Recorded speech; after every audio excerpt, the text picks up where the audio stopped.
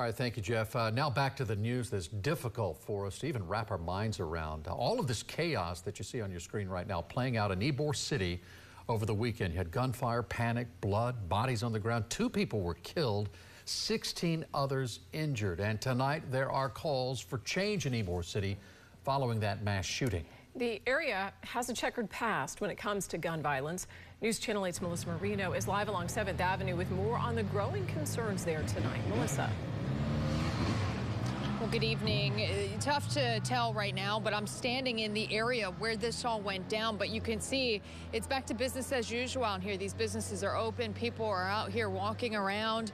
But talking to folks out here, a lot are saying that something needs to change to prevent something like this from happening again. A night of Halloween celebrations turning into chaos in Ybor City. Police say a fight between two groups of people turned into a barrage of gunfire, leaving two people dead and 16 others injured. First of all, I was horrified. Um, secondly, not surprised. Former Tampa Mayor Bob Buckhorn says he tried to address gun violence in Ybor City for years.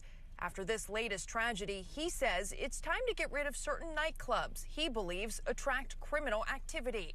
It's a problem. It's been a problem for a while um, and it needs to stop. I mean, either Ybor self-corrects or the government comes in and does something about the bad clubs um, and the bad actors. Mayor Jane Castor responding, saying Ybor City is safe. A lot of the uh, business owners have stepped forward to do what they can to make Ybor safer. Uh, it is just these particular incidents. Uh, if anything, those those places are probably some of the safest places you could be because they spend the kind of money that they spend on the extra security, extra actual off-duty law enforcement. DJ Barry Carew works in Ybor City and says the clubs aren't the issue. He wrote a letter to the city today expressing his frustrations.